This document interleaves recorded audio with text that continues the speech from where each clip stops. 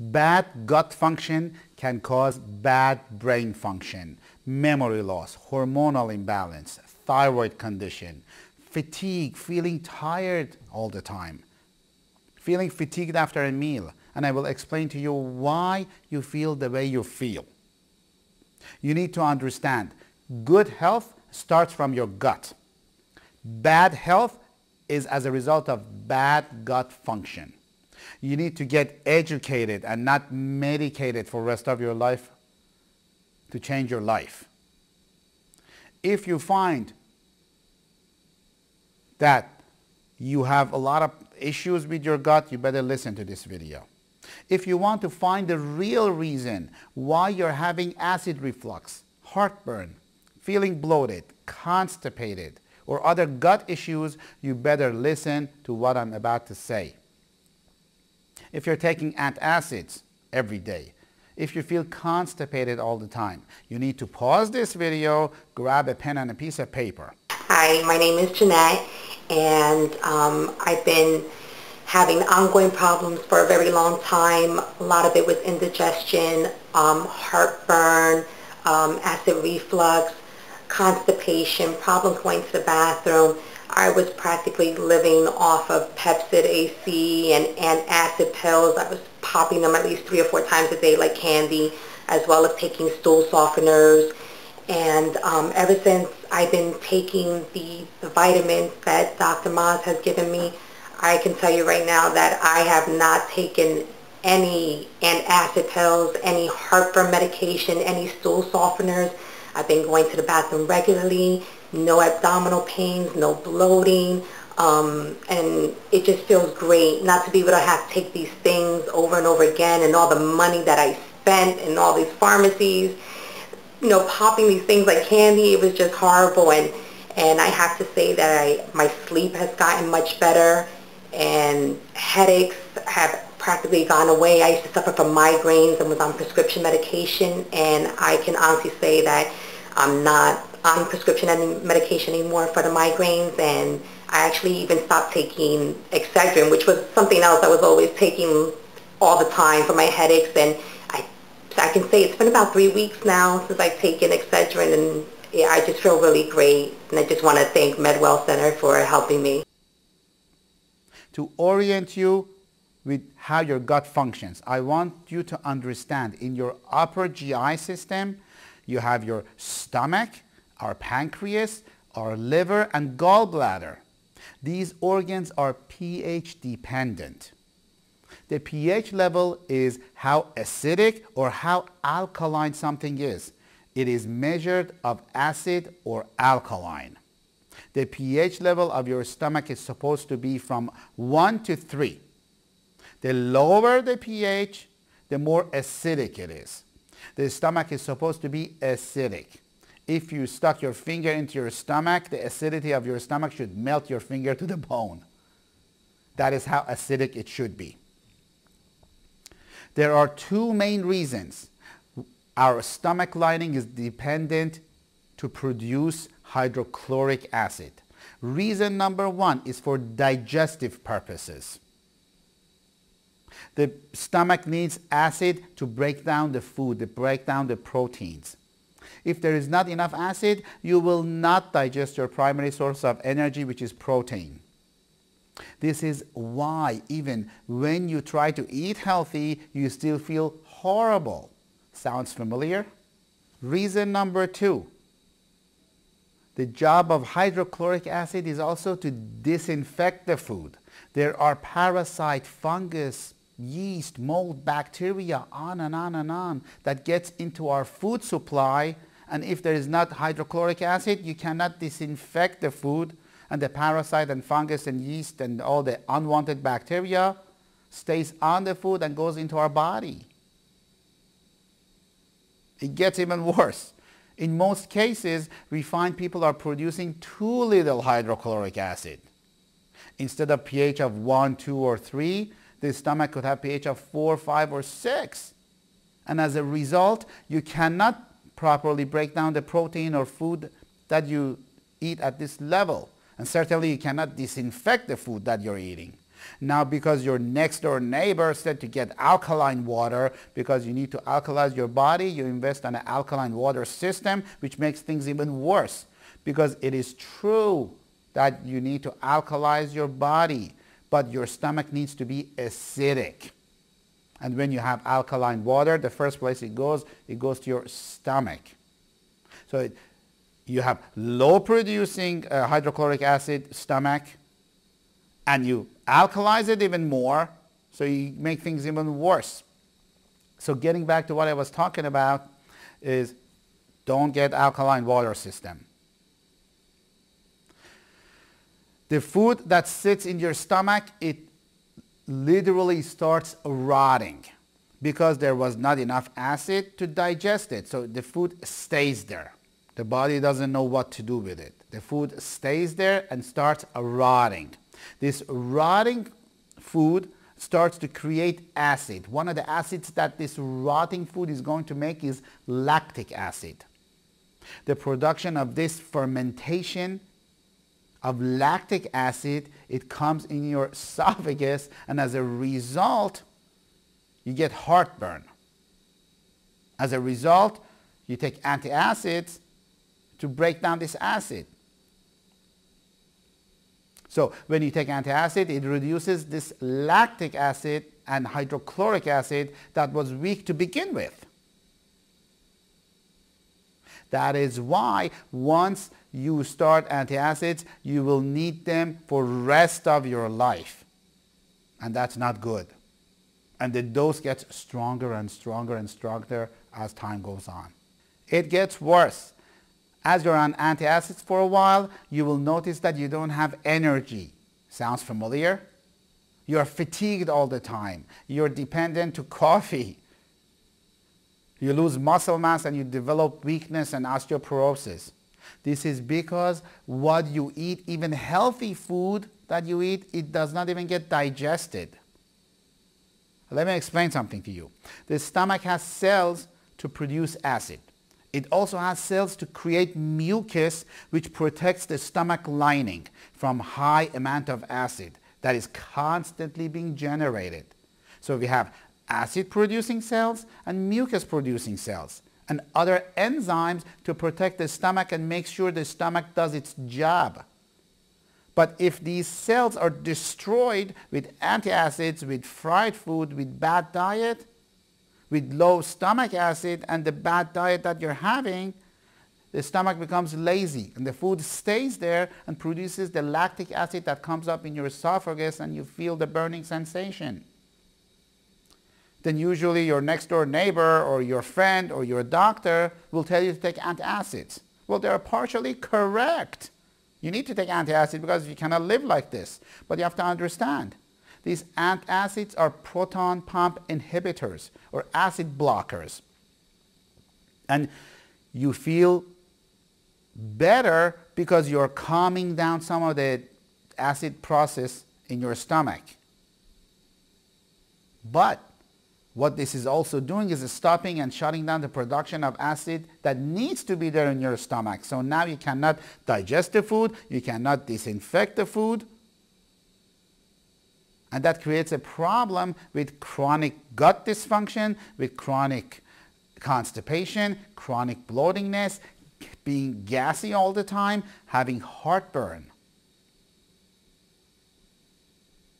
You need digestive enzymes in your stomach to start digest and break down the food that goes from your stomach into your intestine. I've had numerous cases of patients, they come in and they say, I'm a mess, I have constipation, I have chronic bloatingness, I have heartburn, I cannot live like this, I'm living on Nexium and other proton pump inhibitors. I'm taking anti, um, uh, I'm taking probiotics. I changed three different probiotics and I'm still a mess. Well, this patient, I gave him digestive enzymes, a good source. Digestive enzymes to break down the food in the stomach and from the stomach that goes into your intestine to have the probiotics work on it.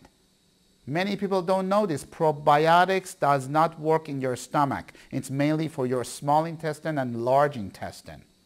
If you have food in your stomach that doesn't get digested and the food gets forced into your small intestine, probiotics could have your symptoms even become more worse. Become more, you become more gassy. You have more constipation. So you need a doctor to understand this whole concept of functional medicine. A vast majority of people create too little hydrochloric acid. Why? Because the production of acid takes a lot of energy. It needs, a, it's energy dependent. When you have constant pain, when you have constant body dysfunction, it reduces your energy and causes fatigue. Sounds familiar?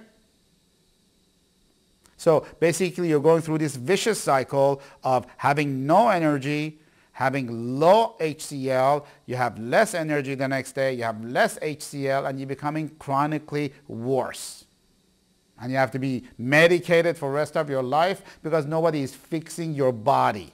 They want to fix your symptom. They want to fix your stomach. They want to fix your large intestine. They want to fix your thyroid. The body does not work like this. The body does not work with systems of the body or organs. You need to fix the body, many of these symptoms may go away. Can we guarantee it? Absolutely not. Are we successful? Yes, our panel of medical physicians, our panel of other doctors they're very successful with helping patients to get better. We have found with our in-house diagnostic testings many musculoskeletal pain, many neurological conditions, many thyroid or diabetes problem that have a direct gut-related cause. Many restless legs uh, patient sufferers, they have yeast and parasite infections that they don't even know about. We test these people, we find them, and we help them. Most people in our country, they're stressed there are actually lab testings and brain evaluation, brainwave evaluations called QEEG testing that shows the average person is chronically stressed. Now, when you're stressed, the brain literally shuts down digestion. When it shuts down the digestion, the production of hydrochloric acid diminishes then the production of the hydrochloric acid diminishes, then you cannot digest the food, then you cannot disinfect your food. Healthy or unhealthy food. Many patients, they come to our office, they have been to many doctors. They have been taking multiple pills. They are getting worse by the day, by the week, by the month.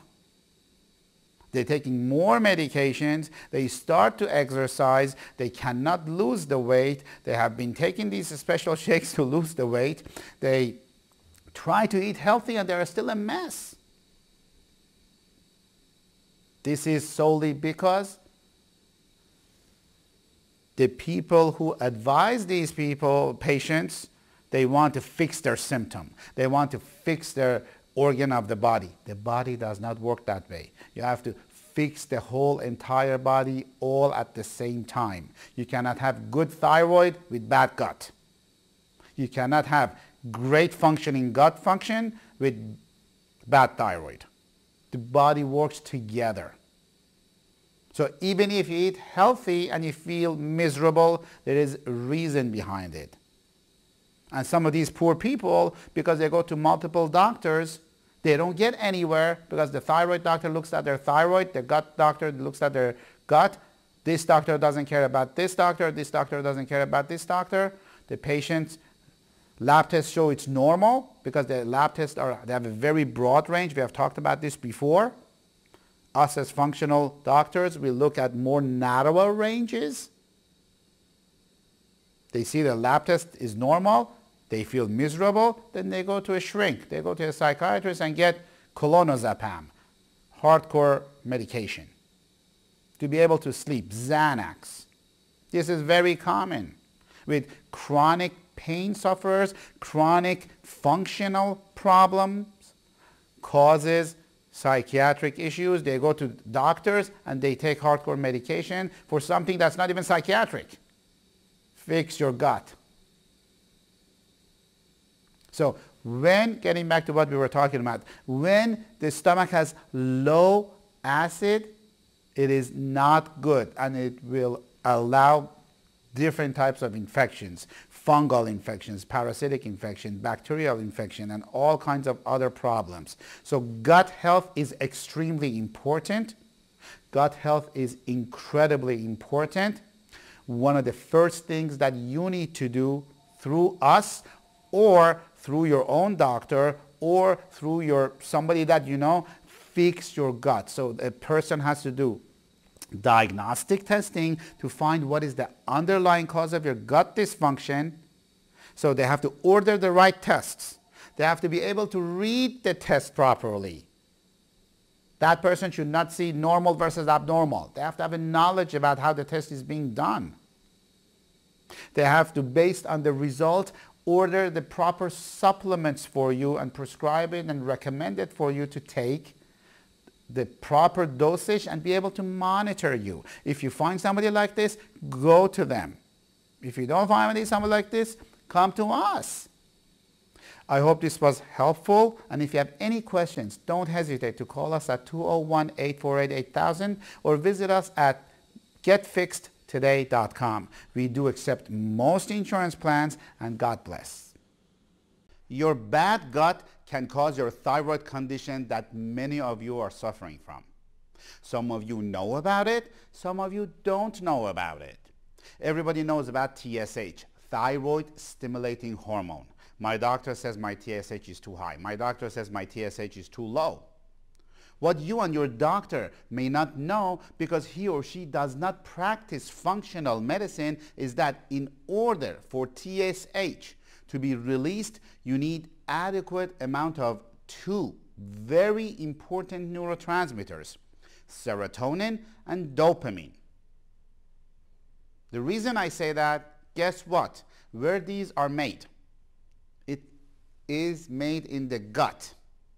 So bad gut can cause bad thyroid function. That is why we need to treat your symptoms all at the same time, metabolically and neurologically.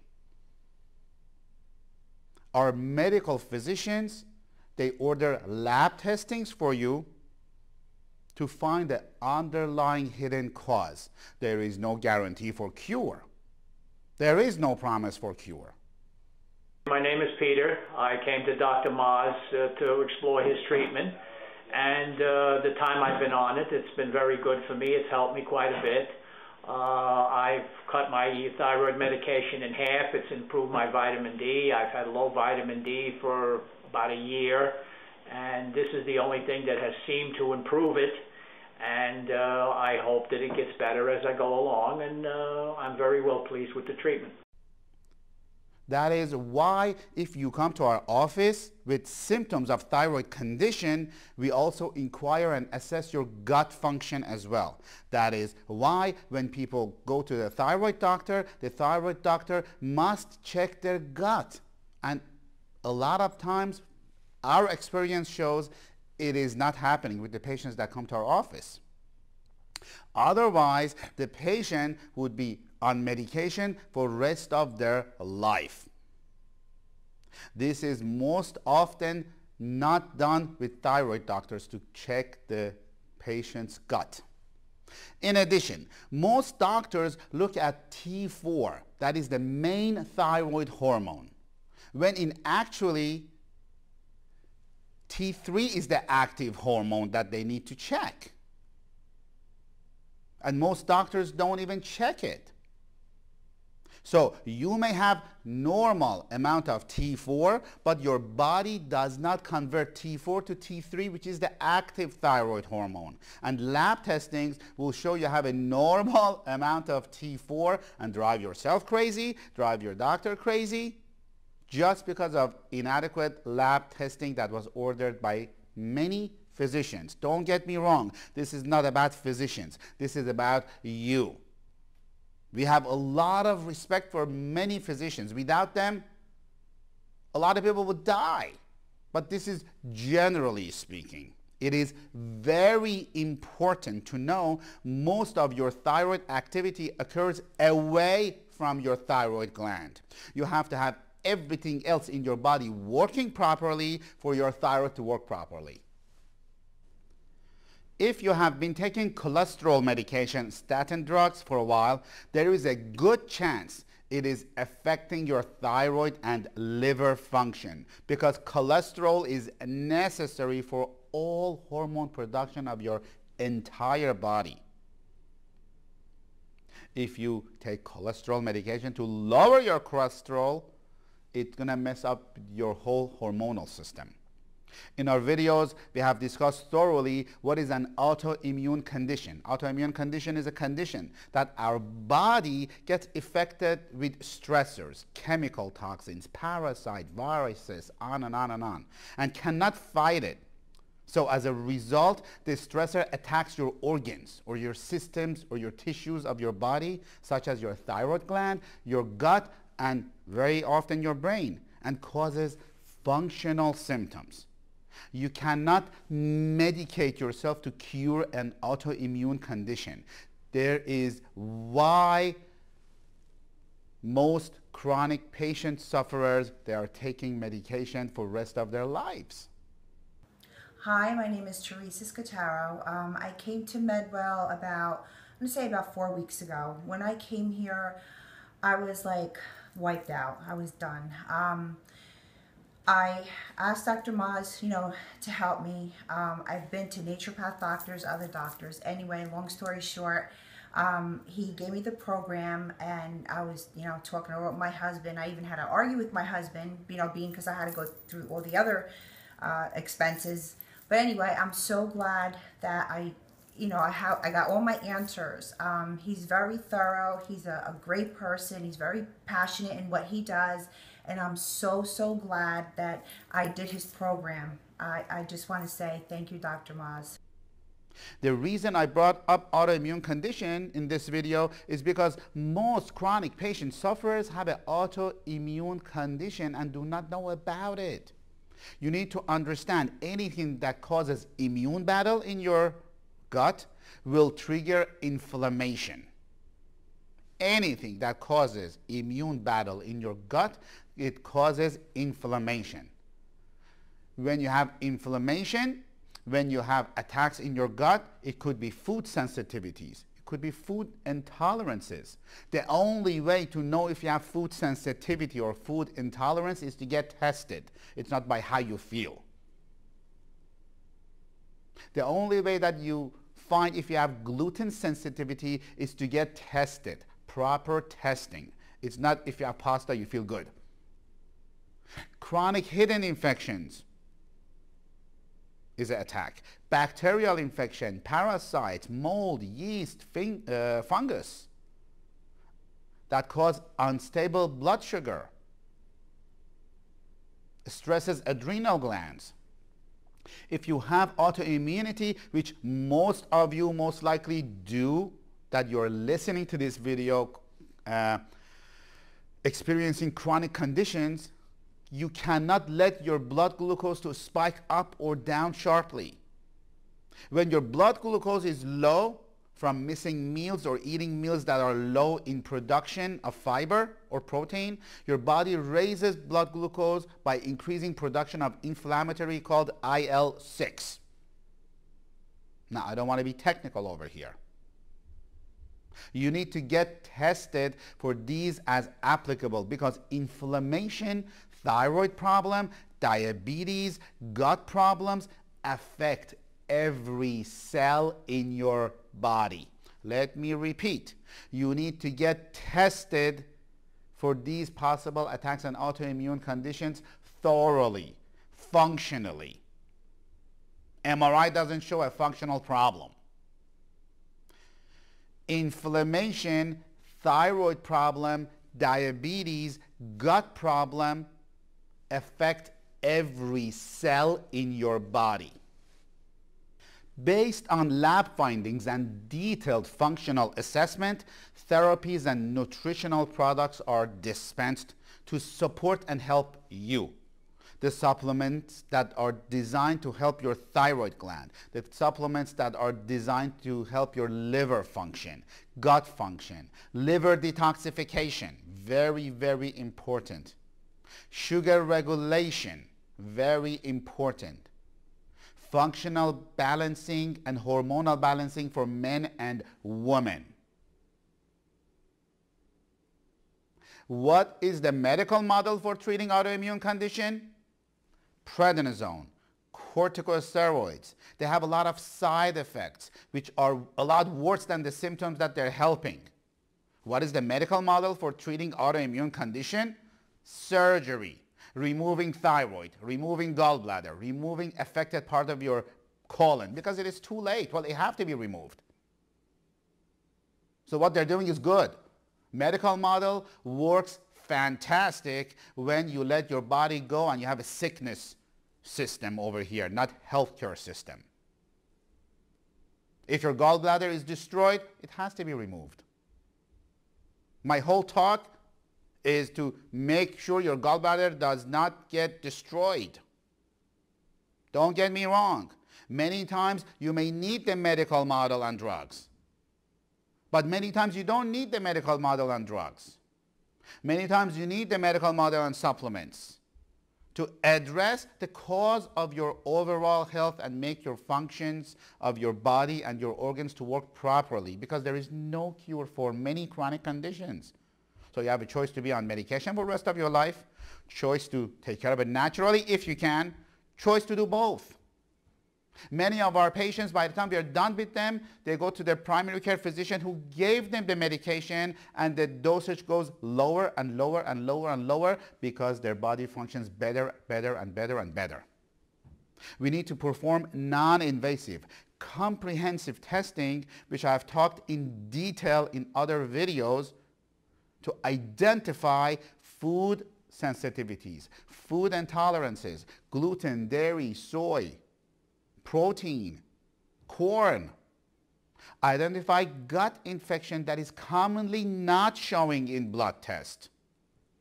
We need to identify if you have an unstable blood sugar and tell you what to do. We need to identify if you have stressed adrenal glands and tell you what to do. We need to identify hormonal imbalance. Any of the above may cause the symptoms that you're experiencing now. What we need to do is based on lab findings and comprehensive gut function testing that we do in-house in the office to support and healing your gut function, to support and heal your thyroid function, adrenal function, liver and biliary gallbladder function, and very important, sugar regulation. Listen and listen to me carefully. You need to understand 80% of your immune system comes from where? You learn that in elementary or middle school. 80% of your immune system comes from your gut. And almost 100% of the time, it's directly contributing to your chronic autoimmune inflammatory symptoms that you're experiencing. You may eat healthy, but if what you eat, even though it's healthy, if you have food intolerance towards it, it's not going to do anything good for you. What good does it do if you eat healthy but it doesn't even get digested in your gut because you have a leaky gut and you have full of inflammation in your gut and gut linings? It will not help you. So we need to eliminate inflammation and bad bacteria from your gut. Ask yourself this. If you feel fatigue after having a meal, most likely you're experiencing hypoglycemia. If you have hypoglycemia, you should not skip breakfast. You should eat a high protein or fiber breakfast. You should eat every two to three hours to keep your sugar level balanced. Snack between the meals. Avoid fasting 12 hours after dinner and before breakfast.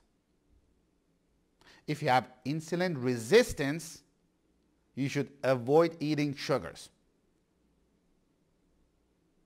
Limit food quantity. Don't eat too much for lunch or dinner if you have insulin resistant. Because if you have insulin resistance and you don't follow what I'm telling you, there's a good chance that you become diabetic later on and you don't want to get there. It's very hard to reverse it. So you should avoid eating table sugars, white sugar. It's horrible. Soda, no good. Limit food quantity. Limit starchy food to avoid fatigue after a meal. Increase physical activity. So our goal is to make you feel better as quickly as possible. Sometimes it happens during your first visit before you leave during the first visit. I want you to understand, we are not the only one that's helping you. You and Medwell team, you and Medwell medical doctors, you and Medwell therapists, we work together to learn about you and all of us help you. So if this information was educational and you feel it makes sense to you, give us a call. If it doesn't make sense to you, don't give me a call. Don't call Medwell and ask to talk to one of the doctors. If you want to change your life, there is a very good chance that you're going to feel better. Give us a call 201-848-8000 or go to the website fixmeup123.com. God bless.